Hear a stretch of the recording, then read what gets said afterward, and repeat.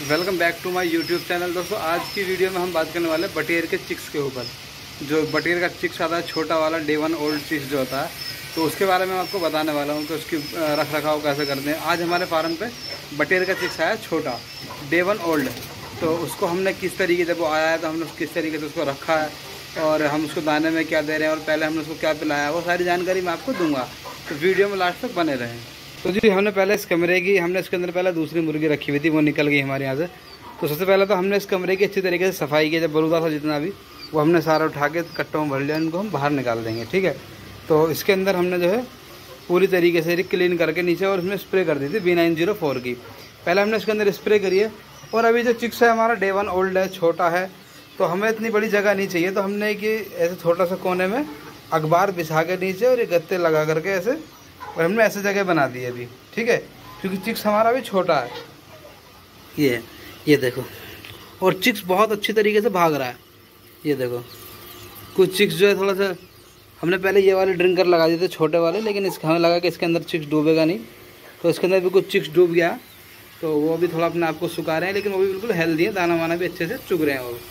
तो तो अभी हमने ये वाला ड्रिंकर लगाया। और ड्रिंकर के अंदर आप जब भी बटेर के लिए ड्रिंकर रखें तो ड्रिंकर के अंदर या तो कंचा डाल लें पत्थर डाल लें, या फिर इस तरीके से जो पाइप आता है, जो टंकी में लगता है पाइप, उस पाइप को दो बार इस तरीके से डाल लें जिससे कि वो फिट इसके अंदर आ जाए।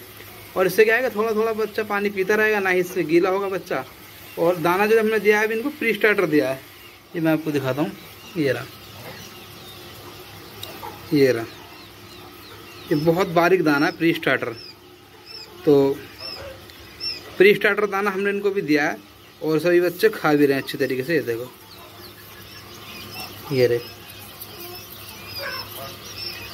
सभी बच्चे अच्छी तरीके से दाने को खा रहे हैं। और इसमें जो है, हम क्या करेंगे, अभी हमें जैसे कम से कम छः दिन तक इसको इतनी जगह देंगे। छः दिन के बाद इनके थोड़े थोड़े पर निकलने शुरू हो जाते हैं और हल्का सा जो है, फिर इनके साइज़ को हम बढ़ा देंगे।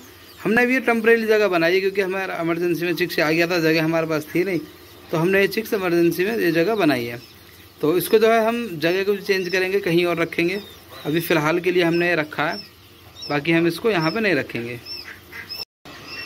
तो इसके अंदर जो हमने पहली बार लगाया, हमने गुड़ का पानी लगाया। अभी जब हमने चिक्स को इसमें छोड़ा था तो उससे पहले हमने अखबार बिछा के और ये छोटे वाले ड्रिंकरों के अंदर ये गुड़ का पानी लगाया करीब दो घंटे के लिए। तो दो घंटे के अंदर सभी बच्चों ने अच्छी तरीके से पानी पी लिया गुड़ का।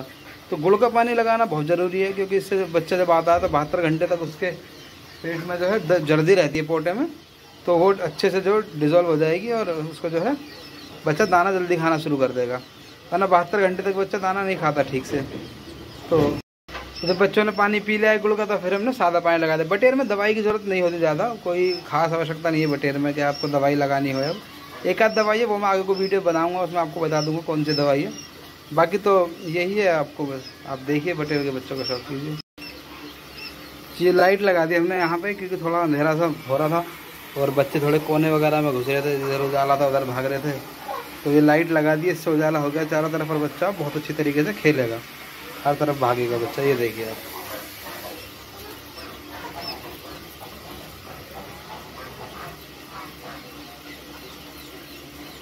तो दोस्तों, हमने अपनी इस वीडियो में आपको आज बटेर के सिक्स के बारे में जानकारी दी है। अगर आपको हमारे द्वारा दी गई जानकारी अच्छी लगी हो तो प्लीज़ वीडियो को लाइक करें और हमारे चैनल को सब्सक्राइब करें और कमेंट करके बताएँ कि आप किस टॉपिक पर आगे वीडियो देखना पसंद करेंगे। ठीक है, आपको जो भी आपका टॉपिक हो, आप हमें बताएँ, हम उसी टॉपिक पर आपको वीडियो बनाते रहेंगे। तो कमेंट करके बताएँ आपको किस टॉपिक पर वीडियो चाहिए। मिलते हैं अगली वीडियो तब तक के लिए बाय